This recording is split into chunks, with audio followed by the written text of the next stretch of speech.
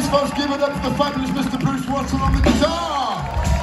Only he can play that solo like that, folks. He can. You're too, kind. You're too, too kind, people. Thanks so much. And please, please, this gentleman here, centre stage, wearing the coolest leather jacket on the planet, playing the Takamine acoustic guitar and lead vocals. Give it up, lead singer, lead Mr. Simon Hough.